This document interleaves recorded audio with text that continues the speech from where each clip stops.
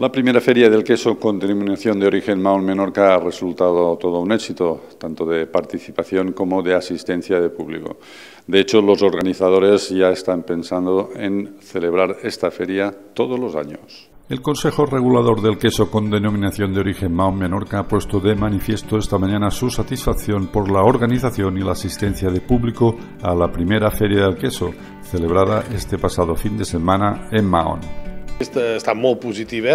Ja d'un primer moment, divendres, eh, quan es va inaugurar, ja hi va haver bastanta afluència de públic, més del que ens esperàvem, i la veritat que cada dia ha estat, ha estat un èxit i que crec que tots els formatgers que han anat a vendre el seu producte els hi ha anat molt bé i a la vegada la gent crec que s'ho ha passat molt bé, inclús els que, els que no li agrada el formatge tenia altres activitats per veure, no? El presidente del Consejo Regulador del Queso con denominación de origen Mahón Menorca ha manifestado que quizás sería mejor celebrar la feria de nuevo el año que viene durante el mes de mayo, porque los productores disponen de un mayor stock de sus productos en comparación a finales de octubre.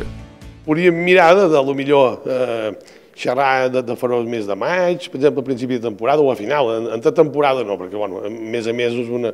un al·licient per Menorca, perquè ha, hi ha visitants que ja que aprofitam que la temporada encara turística, encara sigui al final, hi ha visitants que tenim aquí, tothom, tothom ha vingut, bueno, molta gent ha vingut, s'ha interessat per formatge, i potser el mes de maig també seria, seria millor, diguem, eh, hi ha més formatge també,